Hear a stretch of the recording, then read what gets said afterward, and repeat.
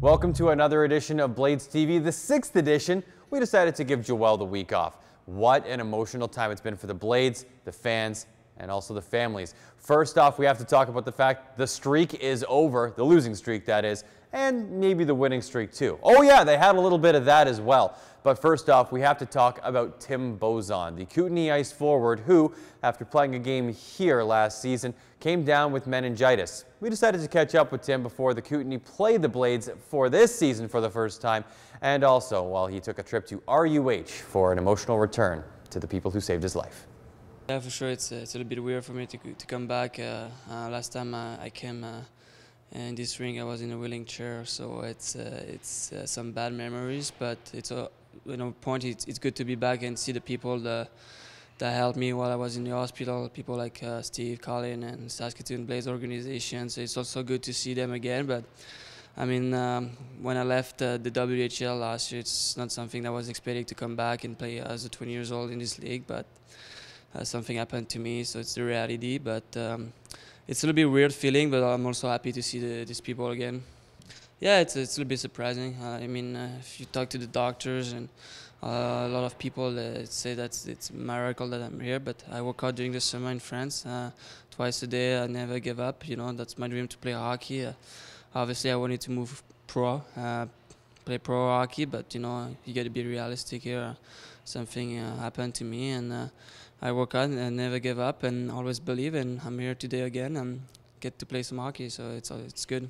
Yeah, it was uh, it was unbelievable. I get to play uh, one uh, NHL preseason against Colorado and three AHL uh, preseason. So I was there for a while and I really liked it. That's why I wanted to stick there. But uh, you know, uh, while I was at the hospital, I lost 40 pounds, and obviously uh, doing had to catch up. And uh, for sure, to play pro, I'm not uh, I'm not ready yet physically. You know, uh, my strength is not totally back, but it's gonna take time. And uh, you know, it's it's a year that uh, it's a, it's a process that to to go through. You know, you know, you don't want to play. You're 20 years old in the league, but like I said, something happened to me, and it takes time. And it doesn't just only in five six months that uh, you rebuild your your body and. It's, it's good, you know. I take always positive things. Uh, I get to play hockey, so that's the most important thing for me. Yeah, most of it back. Uh, uh, I would say everything back, but my strength is not uh, as it was before. You know, I'm still a little bit weaker than I was, but it takes time, and that's why I'm here back in junior to, to rebuild uh, my strength and um, get my confidence back. It's a shame Tim won't actually be lacing up when the Blades play Kootenay this Wednesday, but he'll still have a place of honor, and at that, an emotional one as he drops the ceremonial first puck. And while I'm at it, more honors to be handed out that day as RUH healthcare workers are being given guest passes to attend the game and they will be honored not just for the work they did nursing Tim back to health, but for all the work they do for patients year round. That wasn't the only emotional night though. This past Saturday, the Blades decided to pink the rink and Corey Miette was on hand as the team's honorary captain while his mom dropped the ceremonial face-off as well. And while we're at it, let's take a look at those highlights. Side than Pinker, but uh, you get the idea. Thompson a shot blocked. Backhand shot. Scores! High! Oh, let's go, Ryan Grant. Coghlan couldn't get to it first. Here's Andrew Keppen. Front for Orban. He shoots and scores. Brandon Baddock causing a disturbance. Carries it. Now tries a shot. Save made by Moody. The rebound. Pollock looking for the wraparound. On the near side, it's loose in the slot. The net came off the pegs, that he did so. Now short-handed, Cole Benson, deep shot, scores! Benson. Top of the right wing circle beside the net. Forsberg in front for McKechnie, got knocked down. Forsberg finds it, shoots and scores! Hey, Alex Forsberg! And here's Pollock on the right wing, steps in over the line, into the middle, kept a shot, he scores! Play, here we go. Armour, number 34, moving in. Deeks to the backhand, and Day came. The Edmonton line, Carroll pushes it forward. Caught. man rush the other way. Sautner, Pollock, left wing, shot glove, Sautner. Sautner to the left wing circle, Pollock. Across for Day Shot, he scores! Managed to slip one through the pillows on Alex Moody and across on Brandon Ralph. Jesse Mills now. Kulda up top, shot scores!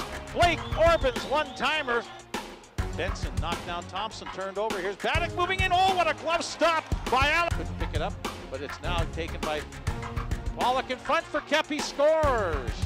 Brett Pollock in the left wing circle finds Andrew Kep, who found a soft spot into the corner. Forsberg up top. Henry, Stovin, Stovin to the front of the goal. Loose puck shot scores! Hooah! Alex Forsberg off a deflected shot came right to him. Off his stick. Sautner stepped into by Graham who takes it away, trying to step up front. Give it to Hebig that's knocked out. Now shot. They score! Oh sure, Austin Adamson picks the corner. Yeah, I mean, you always got to be on your toes uh, against a Memorial Cup team, and uh, they came out and credit to them, they played really well tonight, and uh, we showed we showed that we could compete at sometimes, but we didn't play the whole 60 minutes this this game. So, I mean, we'll go back uh, and practice this week, and hopefully we can come out with a 60 minute effort on Wednesday. I didn't really. It wasn't really uh, so much what Edmonton did. Uh, we kind of just did it to ourselves. We returned pucks over, weren't back checking. Uh, we we went back to the old blades.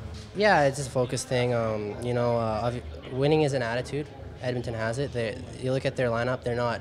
They're not. Uh, um, they don't have a ton of ton of skilled players up there. They have they have quite a few. But I mean, winning is an attitude, and uh, that's something we need to get. Well, against a good team like Edmonton, you can't get away with making the mental mistakes that we made and just soft plays. And I thought we uh, did some play. The shorthanded goal kind of took a little bit of wind out of us. But uh, again, you have to learn to play against good teams. And I, you know, I look at tonight as a, as a good lesson for these guys. And they showed they could hang with them in, uh, times. We actually won the third period, but you gotta play 60 full minutes and you can't make the little mental mistakes.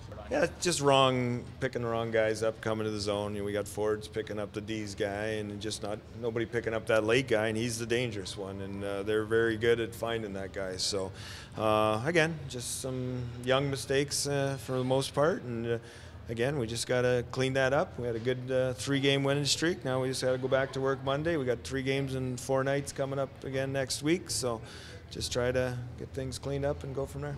Yeah, you know, it was uh, it's pretty special. You know, got a great group group of guys in there, and you know, coaching staff obviously giving the okay for that, and just it was unbelievable. Yeah, well, I don't know. Are you talking about the 50-50 oh, yeah. or yeah, I don't know. Sis just came into the dressing room and just said, "You're not going to believe it." I was like, "What do you What do you mean?" He's, Your mom won the 50-50. I was like, "Holy crap!" And are you ready for the crazy part? It was Corey Miette's mother, Kim, who won the 50-50 for the night, just under 4,000 bucks. What are the odds, am I right? Stay tuned. On the other side of the break, myself and the boys head down to Moksha Yoga.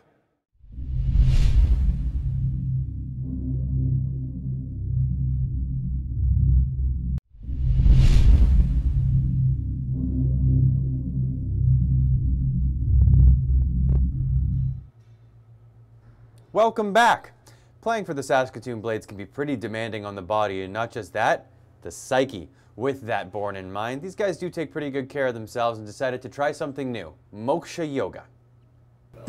I'm here with Leah. She's the co-owner of Moksha Yoga, also one of the teachers here, and you just yep. led the class with the blades. Sure did. How did they do? They did fantastic. Yeah. Uh, they were really focused, and you could tell that they were trying hard in their postures. Uh, I think they got their sweat on and got a lot of benefit out of it. Absolutely. And now they're hockey athletes. So what are some of the challenges uh, hockey players have with yoga? Maybe ones who haven't been introduced yet. I think a lot of it has to do with um, improving on the mobility, especially around the hips, spinal mobility, and also through the shoulders. And those are all areas of the body that are targeted directly in our moksha practice. We do uh, lots of strength-based things, but also a lot of stretching for the hips and getting into the rotation of the shoulders and everything. So I do feel like the guys are going to get some uh, good benefits out of their practice here at Moksha. It's important to breathe so that you're still oxygenating your muscles. They're working hard for you. Next, inhale, come back through center. Stand up, reach all the way up. And just exhale your hands down by your sides. I'm gonna take a nice big breath in. Just relax. Well, the best thing about yoga for anybody in any sports profession, whether you're doing it recreationally or whether it's something that you're looking for your profession, is that it creates um, a really nice routine for them where their breath work is really awesome. They get into a state of mind that is clear and focused. Um, there's lots of studies that have been out there to show that by having that awareness, that body awareness with the mind awareness, that when they're on the ice or on the field or wherever they are, they're more able to handle kind of stress and they don't react so quickly if somebody comes in and they take a hit, there's less injury. Um, the flexibility that's happening in these classes is you can't beat it. These guys are skating, their hips are tight. Um, they need this heat, they need this these stretches. Well, you know, it's starting to kick my butt. I'm starting to sweat everything I had in me out. What did you expect when you came into the class? Well, you know, I've done it before, but I did the um, I did the stretching one, and this one's this one's a bit of a workout. So, you know, it's it's good for us. I think I think we need it. Just stretching and you know movement, you know. So uh, just making sure our bodies are are stretched and uh, and ready to go for game time. Perfect. Do you think you're going to make it to the end of class? End of class. I don't know. I might pass out, or I might drown in my own sweat. Point those toes, kick up, take one more breath in. And breathe out, come down, look to the left side, relax. Chill out. Uh, it sort of it gives you the correct sequence of which muscles to activate right first in in any basic movement. So it really gives you body awareness and uh, coordination. I think that's beneficial for any type of athletics. Yeah, I, uh, I guess my last couple years playing pro, I started getting into it just because you know I had a lot of in injuries and.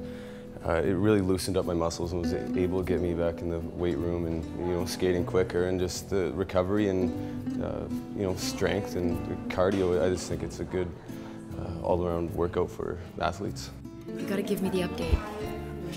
The update is all over my body. You're quite wet. Yeah. What do you think think I'm keeping up. And what temperature do you think your internal body temperature is at right now? I don't know what it would normally be, but we'll give it a plus 55%. Yeah. It's going well, though.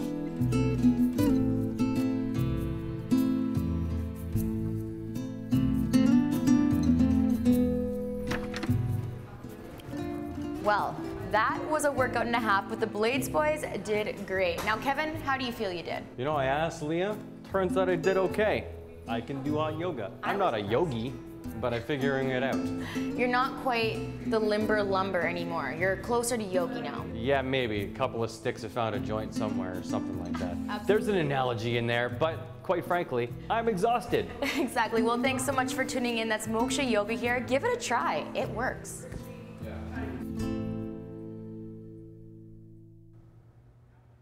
That was more of my chest hair than I ever wanted you to see. Either way, the Blades were feeling pretty peaceful after their win in Swift Current, but to get to that point, they had to go through overtime and then eight rounds of a shootout. Let's get a look at the highlights. Passed it off, return feed, slap shot blocked, right to Miette, who scores! A slap shot by Corey Miette to Lasan, out to Mackay off the bench, loose puck, Zajac stopped by Bo on the doorstep, they score and it's waved off. Back to Gordon, learn out, one-timer again, scored! Another! Jordan Thompson left half wall, centering it, loose puck, they score! Stovin closing in, shooting, rebound, they score! Another side of the net, Cave drags it out front, Moody makes a pad save. Saved in this one by Alex Moody as Scott takes a pass down the left wing. He's got Lissan and DeBrusk to the net. DeBrusk, Lissan,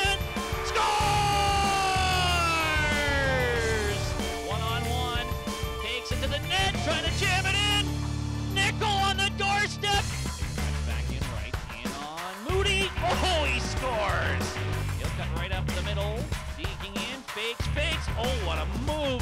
That's straight up the middle, now to the right of it, back in, looking, looking,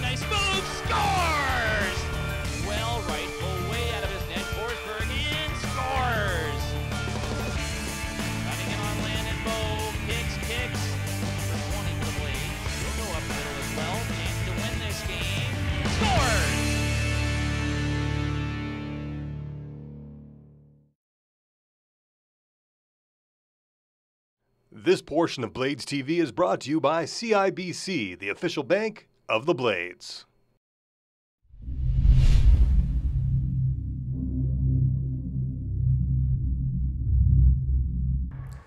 Well, once the roster got finalized, get a couple practices in with familiar faces, the Blades have really started to pick things up a little bit. With more on what they need to do next, here's Ryan Dittrick with a very special guest.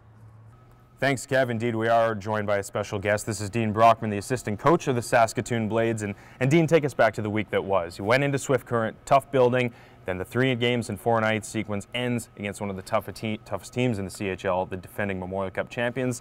most importantly, you got a couple W's out of that. So tell me about the week that was. Yeah, I mean, uh, first and foremost, uh, you know, we like to win the weeks, and uh, we started off on a good note with uh, winning a, you know, a really tough game in Swift Current, which was our first road win of the year. So that was great, and then. Uh, you know, to play back to back on the weekends. You know, Red Deer, we know them, uh, hardworking team. Uh, very physical. Um, you know, I thought we rose to the challenge and got that win, which was huge. And then, uh, you know, we really got a good lesson playing Edmonton. I mean, they're they're a team that doesn't do a lot of things wrong. You know that they're a good team when they've won a lot and they, they just play like winners. And it was a good lesson for us. Uh, even though you want to get the win and show, you know, to see where you are, we didn't. But, uh, you know, I thought we learned a lot from that game and as we go forward this week. Edmonton proved, you know, that team is very different than the one that won the Memorial Cup last year. But at the end of the day, they are the champions, and that's the title they're going to have all season long. But, you know, they showed it in the second period there. They're an explosive offensive team. But there was no quitting you guys. You guys pushed back in the third period and, and uh, got a couple on the board, made the score look, look a little bit more respectable. So do you take that into the next one as a building block as well? Absolutely. I think, uh, you know, we don't want to be a team that's going to quit, uh, first and foremost. And I think, you know, for them, yeah, it's a different team, but they still have winners on their team that are telling their young guys or the guys that are new to their program, you know, how to win and how to get things done. And, you know, I know Steve Hamilton's a very good coach and had them prepared. And with us, it was uh, the never quit. You know, you want to play till the bitter end. And you know what happens, you know, to the bitter end is, you know, Austin Adam, Adamson gets his, uh, you know, his first goal of the season, and uh, you know there wasn't much time left, but you could see the smile on his face in practice uh, and the relief, uh, you know, just to get that goal and and that point or whatever it may be. So you know, a lot of positive things, uh, especially when you lose another big week ahead. Uh, this homestand's critical time for you guys. Obviously, a chance to, to really make make something happen here on home ice, which I know you guys have stressed as being important all year. Begins tonight against the Kootenay Ice and uh, finishes up against the Portland Winterhawks. So again, good teams, but an opportunity to make something happen. Three games in four nights. What's your outlook like? Well, I think, you know, really first and foremost, we take the first game first. You know, I don't think we can look too far ahead. I mean, Kootenay's okay, you know, I mean, we can't, you know, think they're not because they're a pretty decent team. And, uh, you know, we just have to play hard, play our way. I think that's important. I think you know, follow the structure that's in place. And then, uh, you know, you get the other two teams, uh, you know, you certainly follow them up with Portland, who, who certainly was a very good team last year, and they're not off to the start that they need to be. And, uh, you know, really, we want to establish ourselves on home ice. I mean, uh, we've had a six game homestand. It's our, our, chance to, to get back into the hunt and get back into the thick of things. And I think uh, if we have a good week, and again, we want to win every week, and it starts with the first game, and, uh, you know, we can't forget about the last two. Well, you heard Dean right there. One game at a time, and it does start tonight with the Kootenay Ice. Dean will be a few feet back, standing, patrolling the guys and deploying them out there against what is a very good team. Uh, Dean, thank you again for your time, you bet. and we look forward to it. It's going to be a great weekend. Part of that success comes on the heels of naming Brett Stovin as the Blades' 55th captain in franchise history. Here are some comments from the cap. Honestly, it's an honor to wear that jersey. When they when they told me today, I got kind of choked up in the room. I was a little quiet, but uh, you know, it, it's an honor and it's something I take with pride. And um, especially having a young team again, it's uh, it's a big role for the team. It's a big role for the organization in the future. And you know, it's not all about this year. It is about this year, and we want to get some wins under our belt. But um, I understand that this team has a bright future, and there's a lot of guys in the system that are that are high-profile players. And you know, if we get a winning attitude out of the young guys here this year, um, in the future, it's going to pay off, and hopefully get this team uh, or get this organization a championship. Honestly, nothing's really changed. You know, I've looked back at the captains and the leaders I've had from, you know, the 2010 season when I was a 16-year-old. I got called up, and um, you know, we had Tegan's on then, and that's a guy that I've always looked up to and tried to follow in his footsteps. And I've had some great captains in the past, and it's it's something that I, I really look into, and I want to roll myself after them and kind of have my own leadership style. And um, you know, it's it's a big thing for the team. Um, I'm going to take everything I can and help these guys out. Well, again, we all, you know, I always like to do a vote. I like to hear what the team has to say and what their feelings are. And again, we waited this long to make sure we had our group and got even all the new guys in here and let them get established a little bit. And uh, again, you know, I thought it was between probably two guys that I thought would uh, be candidates, and it came down to one of them. And and Stovey's a great choice. You know, he's a 20-year-old in this league. He's played in, as a blade his whole career. He's been through some good times and, and some tough times. So again, I can't think of a better guy to lead these guys out of this.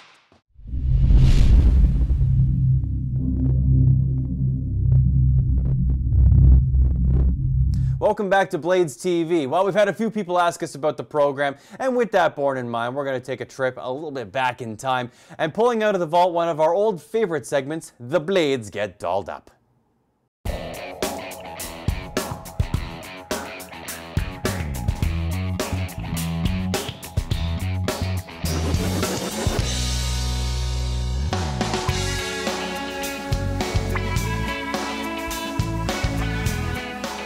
Tommy Guns is a concept. Uh, it's a barbershop concept. Tailors uh, towards men. Uh, shaves and haircuts are our specialty. Uh, as you can see here today, we've got uh, the blades with us. They're uh, getting all trimmed up here for the season. Came in looking rough. Not that the blades look rough, but you know they're they're looking good as they come out, all nice and shiny and smooth. We sat down, we had coffee, and we came up with this great idea.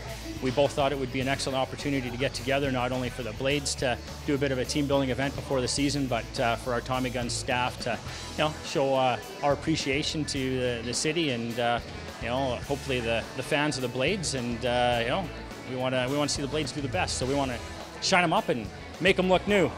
Well, the mullet's been with me for a little bit of a, a journey, but I think it's time to take it down. Um, I'm going for the Harvey Specter today, so it, will look a lot like Josh's over here. Um, I'm nervous about it, but uh, I'm confident in my hairdresser, so. Well, I think Yuri looks uh, like a classic Macklemore out there. I think it suits him. I think it looks good, and I was a little disappointed that uh, Zage uh, got rid of the mullet.